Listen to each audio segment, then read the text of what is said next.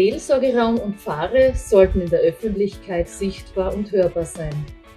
Vor allem wir Frauen sollten gemeinsam mit einer starken Stimme auftreten und für unser Engagement, unser Tun und unseren Glauben sprechen.